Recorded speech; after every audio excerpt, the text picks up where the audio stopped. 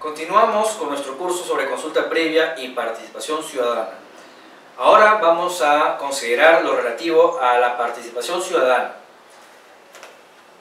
En primer lugar, hay que señalar que la participación ciudadana es un derecho fundamental de todo ciudadano, de, todo ciudadana, eh, de toda ciudadana de este país, sin distinción de eh, sexo, raza, religión, opinión o cualquier otra consideración. Este derecho fundamental proviene de un reconocimiento constitucional, el artículo 2 de la Constitución, que reconoce que todos tenemos derecho a participar de los asuntos públicos de la nación, pero tiene una manifestación particular en el subsector energía y minas, en el sector ambiente y otros sectores del quehacer gubernamental. Particularmente en el sector minería, el reglamento eh, que fue aprobado mediante el Decreto Supremo 028-2008-EM establece las normas de participación ciudadana en el subsector minero. El Decreto Supremo 012-2008-EM establece las normas de participación ciudadana en el subsector energía con énfasis en hidrocarburos. Y el Decreto Supremo 002-2009-MINAM hace lo propio en el sector ambiente. Ahora bien, cuando hablamos de eh, participación ciudadana, estamos hablando básicamente de que la legislación peruana ha considerado regular este derecho fundamental, este derecho constitucional, básicamente a través de mecanismos informativos que lo diferencian sustancialmente de la consulta previa a los pueblos indígenas. Y vamos a ver a continuación por qué. Lo importante a considerar, a retener, es que son mecanismos de información.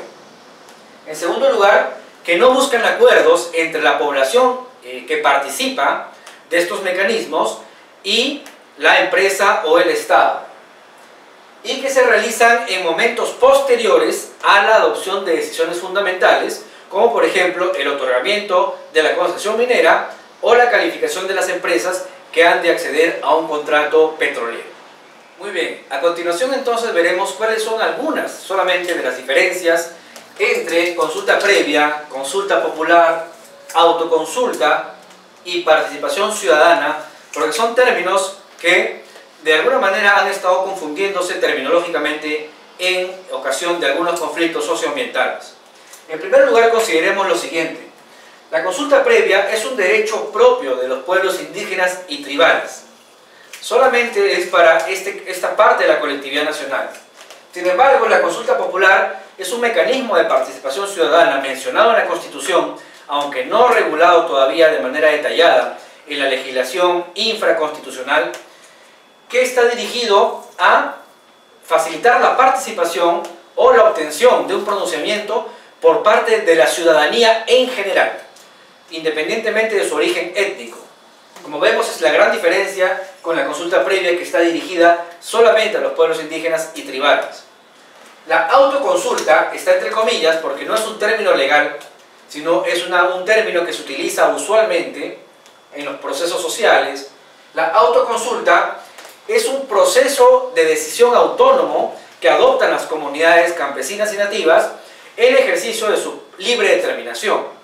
Cada vez que una asamblea comunal adopta una decisión o una asamblea comunal adopta una opinión, un posicionamiento respecto a un proyecto extractivo, lo que está haciendo es autoconsultarse, es decir, adoptando una decisión en virtud de la consulta realizada por sus órganos de gobierno. Y la participación ciudadana está dirigida, a diferencia de todo ello, al igual que la consulta popular, que es un mecanismo de participación ciudadana, a todos los ciudadanos, es decir, a la ciudadanía en general, pero en particular a aquellos que están en el área de influencia directa de un determinado proyecto extractivo. Eso es lo que lo diferencia de la consulta popular, porque la consulta popular puede hacerse una consulta independientemente de que exista un proyecto extractivo. Sin embargo, en la participación ciudadana de la que estamos hablando en esta ocasión, nos referimos a que es un mecanismo que se ejecuta en función de una ciudadanía en abstracto, sin contemplar temas de origen étnico, para obtener su, eh, no su consentimiento, sino para obtener, para obtener el objetivo de que esta población conozca un determinado proyecto en el área de influencia directa del mismo.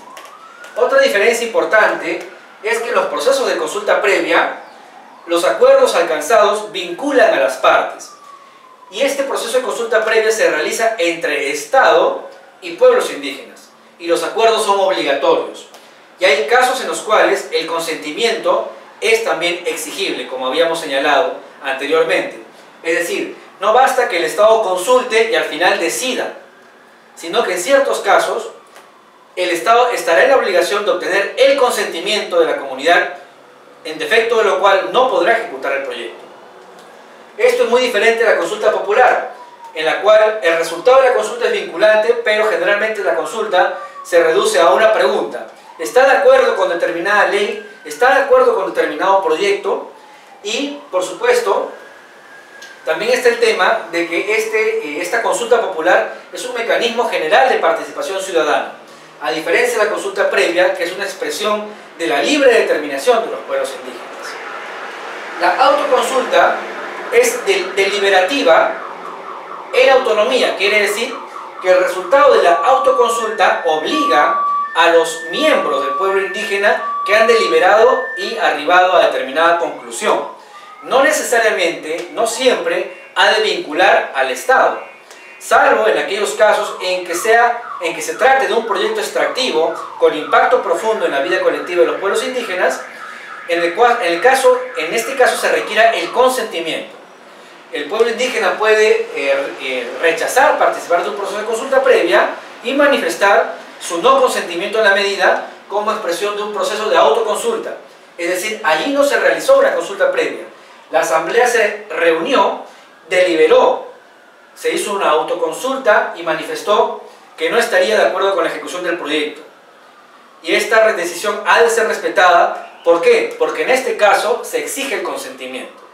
En otros casos en los cuales no es exigible el consentimiento, el resultado de la autoconsulta no puede ser vinculante, es decir, no obliga a que el Estado la acate. Y la participación ciudadana es un mecanismo meramente informativo, de poner en conocimiento de la población afectada en el área de influencia de un determinado proyecto o de las consecuencias ambientales y sociales de un proyecto. No tiene la finalidad de obtener acuerdos.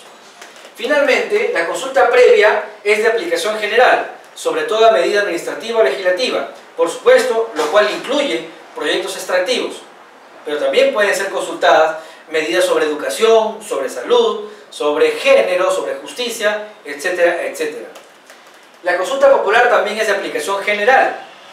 La autoconsulta es general y también podría implicar la autoconsulta sobre proyectos extractivos. Y finalmente la participación ciudadana del sector eh, energía y minas está explícitamente referida solamente a proyectos extractivos.